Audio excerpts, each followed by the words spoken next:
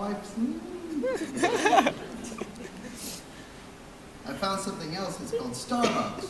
it's like liquid crack. Beautiful. Um, but it's the little things now, you know. Like late at night, I'll be laying in bed with my wife, who's so beautiful, and I'll be watching these shows. We like to watch these shows now, called like Forensic Files. Y'all watch those? You know what I'm talking about? And she's like, oh God. Yes, like Cold Case, or like my favorite is Who the fuck did I marry? That's a new show. It's called Who the fuck did I marry? and they're real. But I'm watching that with my wife, and I woke her up the other night. I said, baby, you gotta wake up. You gotta wake up. And she wakes up, she's like, what? And I'm like, baby, um, if you ever leave me, if you ever just go and you decide to leave, can we just talk about it? Like, can we just talk about it like normal human beings? Can you not put like cyanide in my Starbucks and slowly kill me? She's like, baby, I won't do that. Good night. Good talk, baby, good talk. You know, it's the little things now. It's like recognizing miracles every day, you know? And my children, and, and just getting here safe and seeing you guys here. And being worried about whether or not you're going to be understand understand me because of my English and I don't know if I'm speaking right. And fuck it, just relax. You know, it's beautiful being alive. Um, but I had to write a song. I had to write a whole album called Sway. You know, um, sober. It was work, but I was proud of it.